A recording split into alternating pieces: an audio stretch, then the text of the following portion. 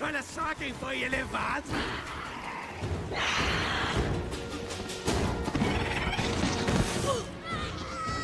Ó, pecado.